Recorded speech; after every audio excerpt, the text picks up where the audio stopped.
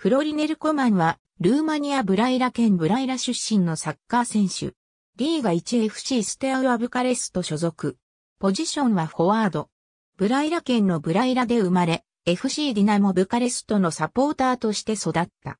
FC ビトルル・コンスタンツァのアカデミーに所属していた頃、トップチームの監督であるゲオルゲ・ハジによってトップチームに昇格し、2015年3月18日の AFC アストラジュルジュ戦でプロデビューを果たした。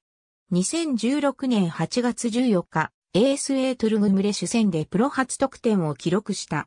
2017年2月には、ディナモブカレスト戦、CS パンドリートゥルグジュー戦、ACS ポリティミシュアラ戦の3試合でゴールを挙げ、月間最優秀選手に選出された。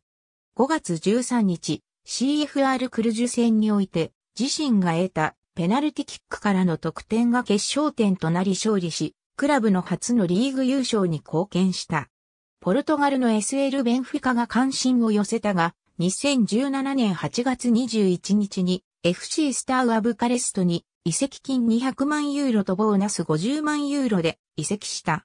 バイアウト条項は、ルーマニア史上最高額となる1億ユーロに設定され、ビトルル・コンスタンツァは、将来移籍した際に移籍金の20%を得る契約となっている。2017年10月22日、ACS ポリティミシュアラ戦で移籍後初ゴールを挙げた。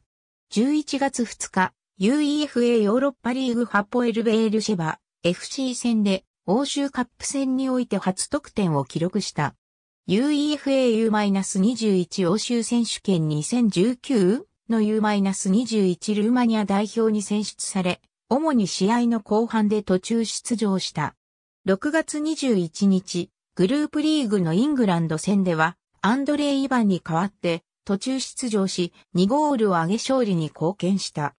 次のフランス戦では、フル出場を果たしたが、スコアレスドローに終わり、フランスと共に決勝トーナメントに進出したものの、準決勝でドイツに敗れた。ありがとうございます。